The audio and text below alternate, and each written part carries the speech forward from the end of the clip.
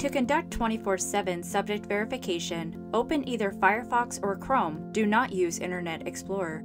Then go to medmj.ehawaii.gov. Only designated officers will have the ability to use this search feature to conduct 24 7 subject verification. To begin, log in using your eHawaii Gov account.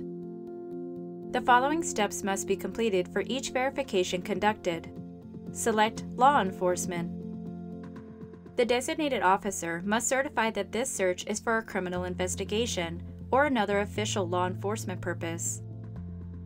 Now enter the requesting officer's information. All fields are required unless otherwise noted. To conduct a search using the individual's name, enter as much information on the subject as possible. At a minimum, you must at least enter the last name and date of birth. You also have the option to search by ID number or registration number. The ID number is the number on the valid ID that the individual used to register for the program.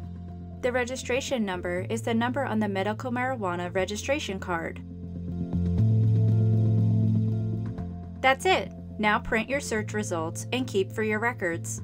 Repeat this process for each subject verification needed.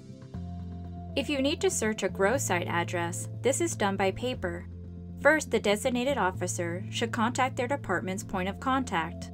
The point of contact is the individual within the designated officer's agency that has been named as the point of contact for the medical marijuana program.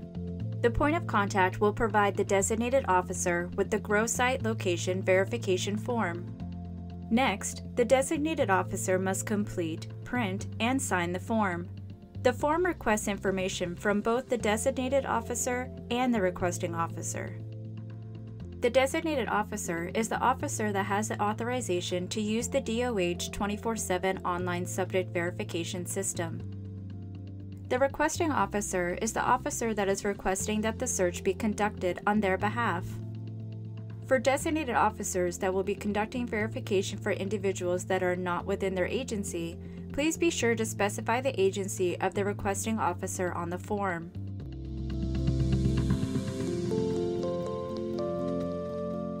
Complete as much information about the grow site address as possible, including house number, unit number, street address, city, and zip code.